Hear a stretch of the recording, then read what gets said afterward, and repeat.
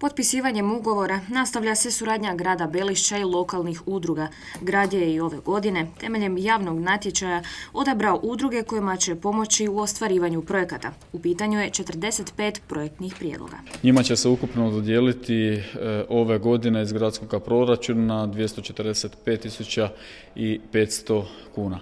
Valja napomenuti, ako ovoj brojci e, pribrojimo iznose koje dodjeljujemo sportskim udrugama i zajednici športskih udruga grada Belića, onda dolazimo do brojke od oko 2,5 milijuna kuna koje izdvajamo kako za sportske, tako da za sve ostale e, udruge e, koje djeluju na našem području. Najviše je projektnih prijedloga vezano za područje zdravlja i socijalno-humanitarne zaštite, njih 13. Slijedi 11 kulturnih projekata za koje je ukupno izdvojeno 71.500 kuna.